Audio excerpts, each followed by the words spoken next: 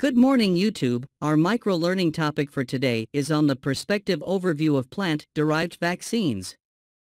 If you are new to the Biotech Whisperer channel, a warm welcome, we look forward to sharing bite-sized videos with you. Let's dive into the topic for today. Plant-derived vaccines. It has been nearly three decades since the advent of plant engineering technology. Despite the promising potential of plant-based pharmaceuticals or vaccines, significant challenges remain in bringing these products to market.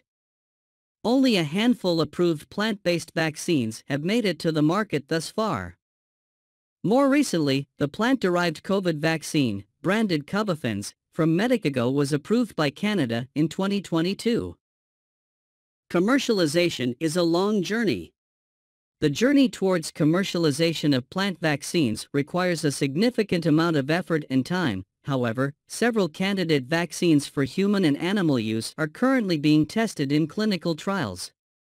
This video aims covers the latest advancements in plant engineering and regulatory requirements for plant-based vaccines, and provides an overview of the human and animal vaccines undergoing clinical trials. Vaccines are economically effective. Vaccines are the most economical and effective way to decrease the impact of infectious diseases. Efforts are ongoing to enhance vaccine quality and accessibility while decreasing production costs. Conventional vaccines are produced by using a weakened form of the pathogen or by creating an inactivated version of the disease-causing organism or a part of it. However, these vaccines carry the risk of contamination from unintended agents plants as effective and scalable bioreactors. Plants have the capability to produce large quantities of recombinant proteins as bioreactors, which are free from pathogens that affect humans and animals and can be stored at low cost without refrigeration. Many recombinant proteins have already been produced in plants, leading to a shift in the production of protein-based pharmaceuticals from bacterial, fungal, and mammalian cell cultures to plants and plant cell cultures plants suitable for scaling production.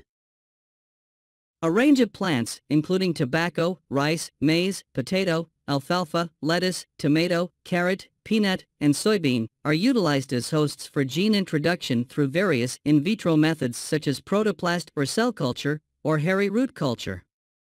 The introduction of genes into plants can be achieved through routine nuclear or chloroplast genome recombination. The choice of plant species and technology used for vaccine production determines the administration route, as some plants can only be consumed after processing, and certain treatments such as heat or pressure may destroy the antigen. Cereal crops are desirable for producing subunit vaccines because the vaccines produced in the seeds remain stable during long-term storage. Getting vaccine antigens from plants. A new approach involves producing vaccine antigens in genetically modified plants, which can then be extracted and purified. These vaccines can be consumed or applied to mucosal surfaces and offer several benefits, such as being cost-effective, easily accepted by patients, and stable for long-term storage. However, technical challenges and regulatory requirements must be addressed before widespread use, and public acceptance must be ensured. The World Health Organization and other national bodies will continue to support international harmonization of requirements as the development of plant-derived vaccines advances. Injection-type vaccines. There are two methods of administering vaccines, injection and mucosal. Injection-type vaccines, given through intramuscular or subcutaneous routes, provide strong protection against diseases and are effective against pathogens that spread through systemic or respiratory routes. These vaccines are typically produced in tobacco plants through transient expression, but the antigens must be purified prior to administration. Oral or nasal vaccines. Oral or nasal vaccines, on the other hand, induce both mucosal and systemic immunity. Oral plant-based vaccines are particularly attractive because they are easy to produce and don't require additional medical equipment for injection. They also retain their immunogenicity and biological activities in the gastrointestinal tract, due to the natural bioencapsulation of antigens in plant cell organelles. Edible plants such as rice, maize, potato, lettuce, and carrot have been used to develop oral vaccines. Once these vaccines reach the small intestine, the antigens are incorporated into M cells in the follicle-associated epithelium, FAE, which results in both mucosal and systemic immune responses. Scaled production with GMP requirements. Production of recombinant proteins used in pharmaceutical applications requires certain quality standards. The GMP grade is compulsory for clinical applications. There are GMP facilities capable of producing plant-derived recombinant proteins used in pharmaceuticals, including vaccines. Fraunhofer CMB in the US and Medicago Incorporated in Canada are two examples of such facilities. Some university-launched plant-made vaccines have reached phase I clinical trials and have been produced in collaboration with GMP facilities. The production of these vaccines must meet certain quality standards, including the GMP grade, which is compulsory for clinical applications. The key processing areas in the GMP plant are equipped with complete processing cycles for transient expression in plants, such as plant and bacterium cultivation, infiltration, plant harvest, and protein purification. For use with animals. Plant-based vaccines are an asset for the animal use if they can be manufactured at low cost. Moreover, edible vaccines require little effort for administration. In poultry, in addition to the approved vaccine mentioned above, glycoprotein of Newcastle disease virus has been expressed in potato, tobacco, maize, and rice. Similarly, oral administration of a plant-based FMDV vaccine has been shown to be effective in pigs. The vaccine was produced in tobacco leaves and delivered as a freeze-dried powder mixed with feed. The vaccine elicited a strong mucosal and systemic immune response and provided protection against homologous and heterologous FMDV challenges. These studies demonstrate the potential of plant-based vaccines for pig protection against ETC and FMDV, two important diseases in the swine industry. For use with fisheries. Aqua farming relies on ocean water, and excessive use of antibiotics contaminates the environment.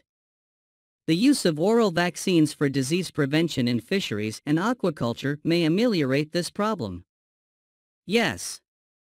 It is possible that the use of oral vaccines for disease prevention in fisheries and aquaculture may help to reduce the contamination of the environment from excessive use of antibiotics. Oral vaccines can provide a safer and more sustainable alternative for disease control in the aquaculture industry. By administering the vaccine orally, it avoids the need for injections, which can be stressful to the fish, and also reduces the risk of environmental contamination. Closing perspectives In recent years, there has been a growing interest in developing plant-based vaccines as an alternative to traditional vaccine production methods. Advances in plant biotechnology have made it possible to produce vaccines using plant expression systems, which offers several advantages such as low production costs, scalability, safety, and the ability to quickly respond to emerging pathogens. For example, researchers have successfully produced a number of vaccines against human and animal diseases in plants, including the influenza virus, rabies, and hepatitis B. Additionally, the ability to store plants at low temperatures for long periods of time without losing efficacy makes plant-based vaccines a promising solution for remote and resource-limited areas where vaccine distribution can be challenging. Overall, plant-based vaccines hold great potential for improving access to life-saving immunizations and addressing the global public health challenges of the 21st century. To develop a comprehensive and effective regulatory framework for the clinical use of plant-based vaccines in humans and animals, several key considerations must be taken into account. Firstly, we must identify the appropriate target plants and transgenic methods. The production of transgenic plants for biotherapeutic purposes is highly regulated, and the choice of plants will impact the entire commercialization process. Transient expression systems can produce high quantities of target proteins quickly, but their implementation is challenging as it involves the use of atomophasians or viral vectors on a large scale. Secondly, we must determine the best cultivation system, whether it be open field, greenhouse, or in-house.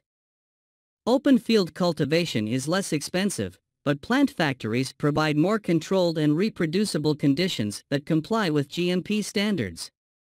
Lastly, we must establish procedures for the manufacturing and processing of plant-based pharmaceuticals that maintain quality without sacrificing efficiency. This is essential for the production of high-quality plant-based vaccines for both humans and animals.